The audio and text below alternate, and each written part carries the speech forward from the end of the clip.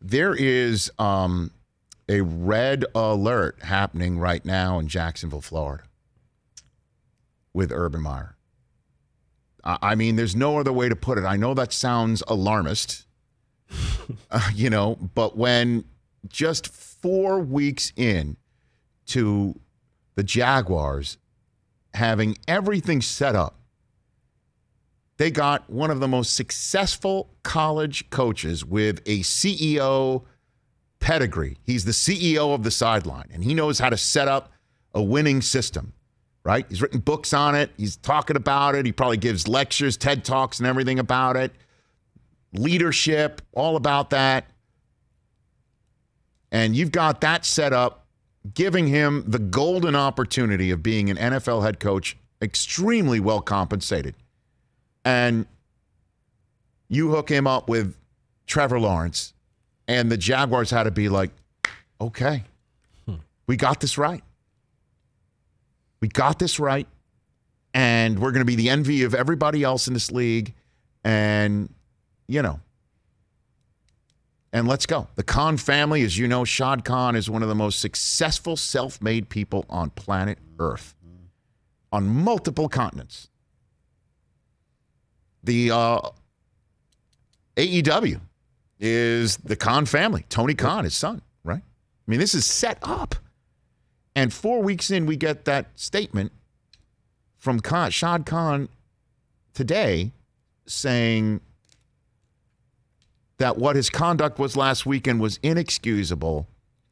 And I appreciate Urban's remorse, which I believe is sincere. Now he must regain our trust and respect. I am confident he will deliver. And, you know, there's two ways to look at that.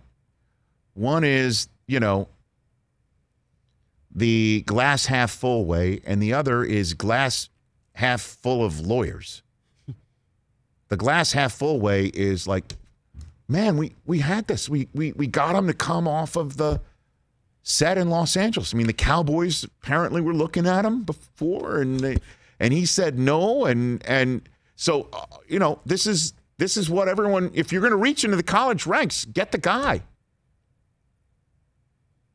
And we signed him, and you know, we got to trust it. I mean, that video was ridiculous that an NFL head coach, a CEO of a team, a face front CEO of a team would be spending a Friday night like that, even though he thought he was amongst friends and somebody shot the video of it and then created a Twitter account out of thin air just to post it, and now that Twitter account's gone. So somebody had it out. You could just say that was a one off and we'll just trust it. And the other is half full of lawyers, which is, you know, put the statement up one more time if you don't mind, Hoskins. The whole business of, you know, that was conduct last weekend was inexcusable. Conduct is the important word because there's a morals clause out there. And there's for cause.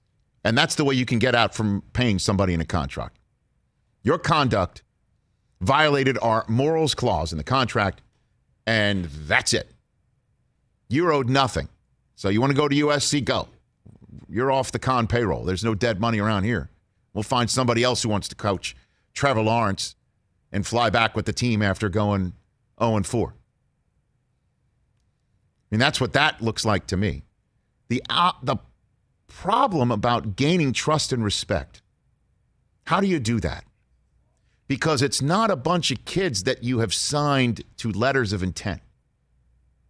These are grown men who have been in this league a long time, some of them, and others who want to make sure that the opportunity that they have right now is one that will be lasting. I mean, NFL stands for, as we know, not for long, and the average career is four years. And how are you going to gain the trust and respect? How can you tell a team, hey, on this bye week, whenever their bye week is, you got to be careful.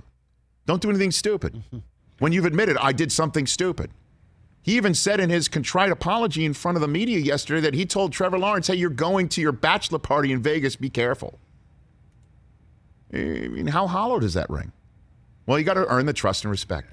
Here's also the problem Chris Long, our buddy, who's been on the show many, many times, had quite the tweet that he put out basically saying if I'm a veteran player in Jacksonville, I am now my own boss. Wow. says Chris Long. Jeez. And that sums it up of the mountain that Urban Meyer has to climb to gain back the trust and respect of that locker room. Red alert.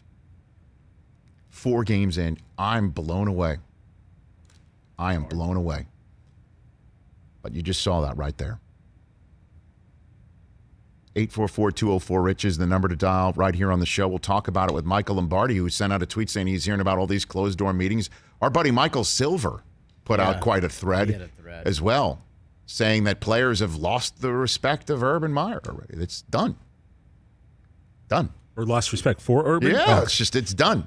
That he canceled the team meeting and he did his apologies that he said to the players. He apparently did it in in position group meetings. He didn't want to meet with everybody in one spot, which that didn't sound like yesterday when he said he spoke to the team.